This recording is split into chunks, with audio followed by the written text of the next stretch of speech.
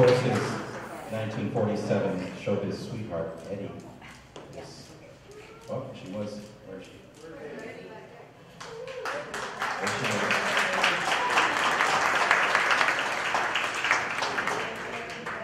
Friends of Unity, uh, gosh, family, neighborhood friends, everybody. Doctors, lawyers, uh, dentists, uh, barbers, uh, gosh, the whole fam family is, I mean, uh, darn families. All of Bud Mercer's acquaintances, and of course his family and his grandchildren, and great grandchildren. Anyway, I'm Buddy Mercer, and I'd like to present to you the man of the hour, Mr. Bud Mercer.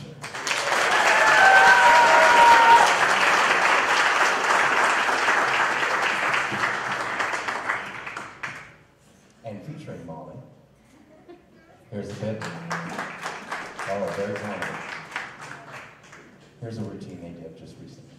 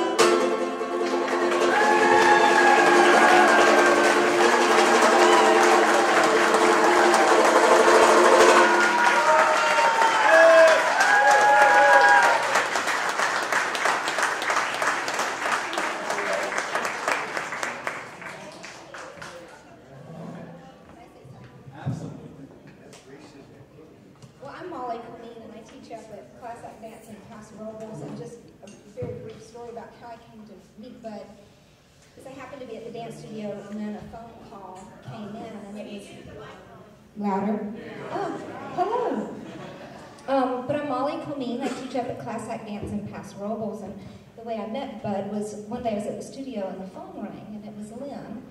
And they said, well, there's this woman on the phone that's wanting to know if we have a a tap teacher that would work with her dad some, you know. So, so she patches the phone, you know, call to me, and I answer. And so Lin begins to tell me, you know, my my dad's 99, and I'm trying to learn some steps from him, and just want to keep his steps active and everything. And I'm wondering if anybody might work with him some. And I said, well, does he have any previous experience?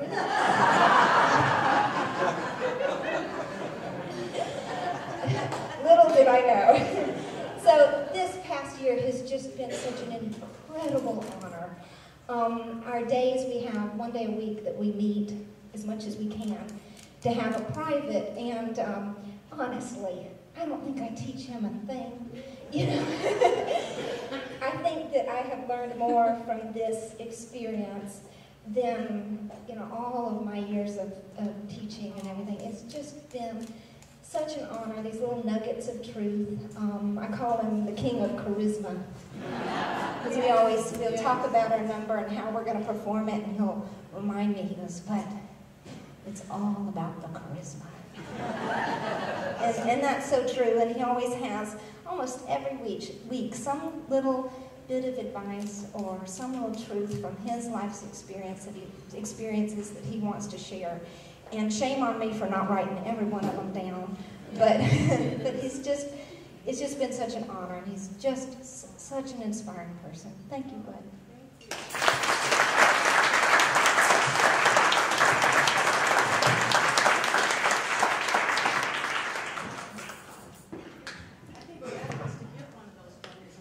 Yeah, I think the man of the hour has a word or two. You wanna, you wanna say, what is it? You wanna say a word or two? A word or two. I'd like to thank you all for coming. This is a very special occasion for me, but I hope it is for you too. My son buddies and I are trying to put forward, together an act that we do, although we won't be able to work the Palm Springs Follies because they're closing the show down. And that, that kind of hurt our, our plans because we decided we were going to open up there.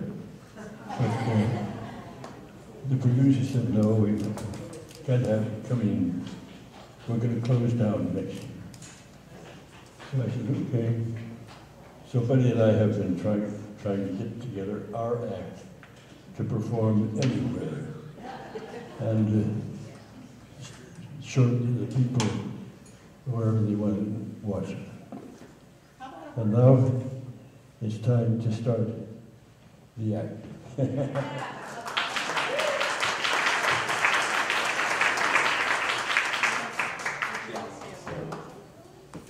I'll take that for you.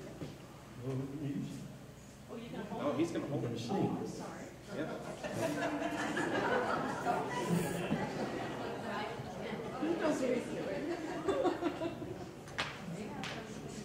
Well, it's a casual show.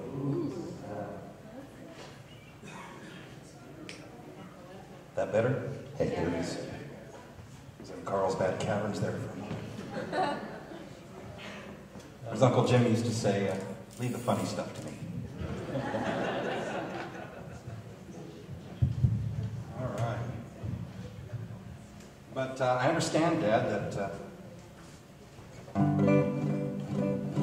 that you have a special song that you wanted to uh, introduce to the Yes, to the I, act. I have one that I don't think many people have heard because it just came into my mind and I don't remember where I heard it so long ago. However, it's a cute song and I'd like to sing it for you. My wife is on a diet, and since she's on a diet, she I'm sorry.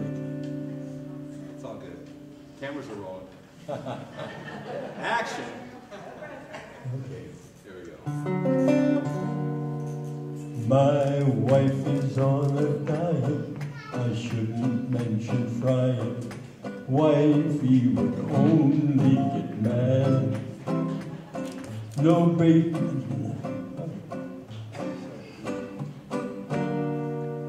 Start. I hope you don't mind my starting, because that's the only part that I'm doing right. I- I'll try to get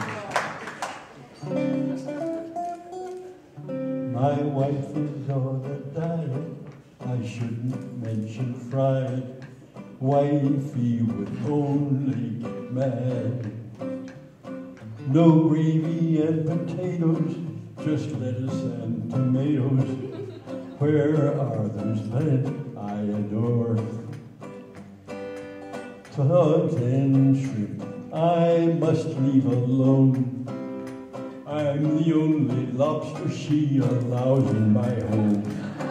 My wife is on a diet, and since she's on a diet, I'm losing a pound every day. Ah. I don't know how many of you have before. I don't know, as I say, it must be an awfully old song because it, it came to me, like, it just popped into my head, and I remembered it. However, we're gonna do some more songs.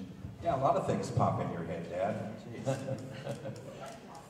what's that? Uh, what's that uh, song about the donut? Remember that one? Oh, sure. I'm not sure what key we did it in.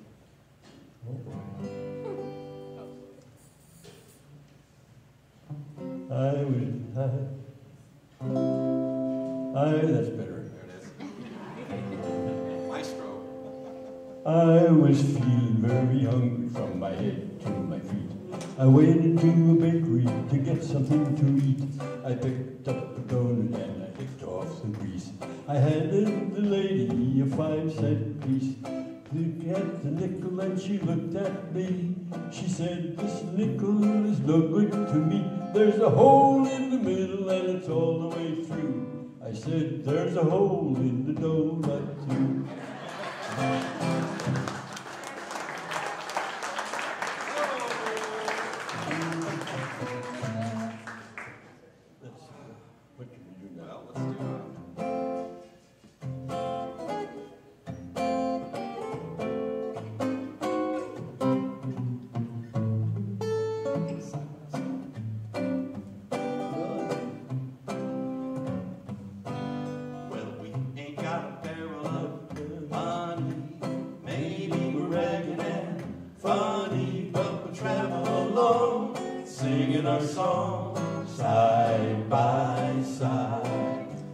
We don't know what's coming tomorrow.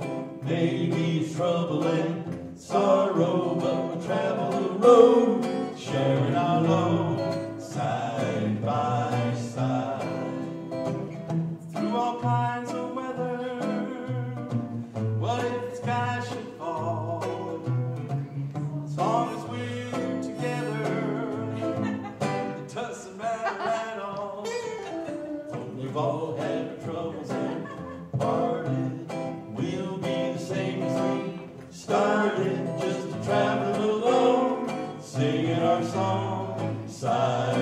side side.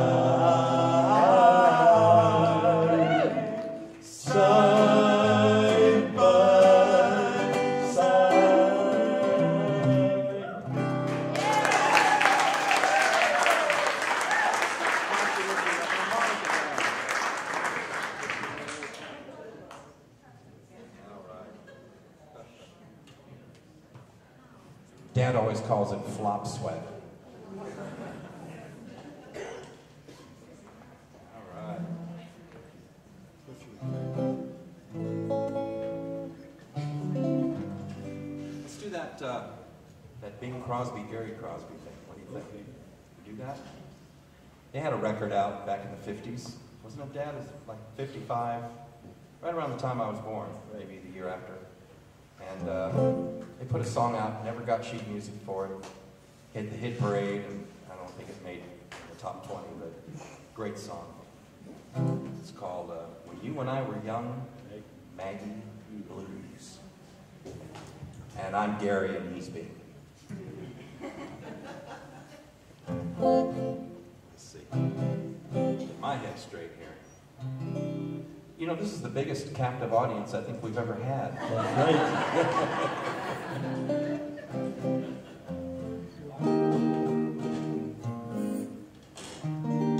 I've been requested to sing an old time song, Hey, that's my part. Something our granddaddies used to sing. No, it was my dad and your granddaddy. But I've a little plan, and I'll do the best I can to sing an old song so we all can understand.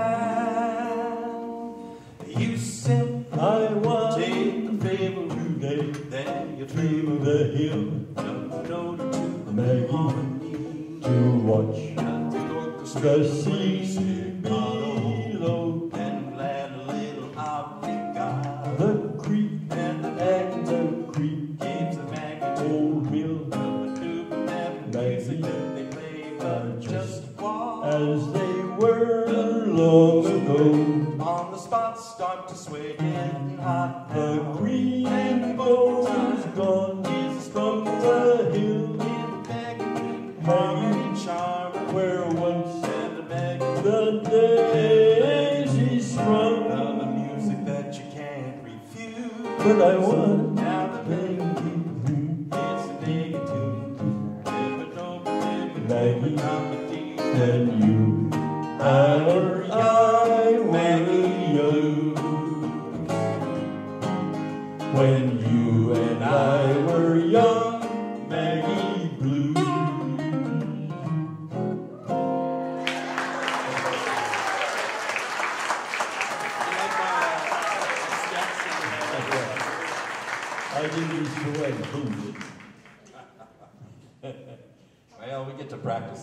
six. Haven't been up here in a while. But uh, what a guy, what a guy. Hey, there's, uh, you know, Johnny Mercer. A lot of people ask us over the years, people still asking me if I'm related to Johnny Mercer. I said, well, I'll, I'll show you my checking account if you like. And, uh, No, I met Johnny Mercer. you did? Yes, I did. And where was this? Years ago in Chicago. when Chicago? first started. Uh-huh. He was writing songs in second floor, the steps right up front, front of the building, and he had a little office just off to the left. So when Jim and I were working in Chicago, I thought, I'm gonna find out before we leave to Johnny Mercer. So I went up and talked to him. And uh, he said, I, I don't remember.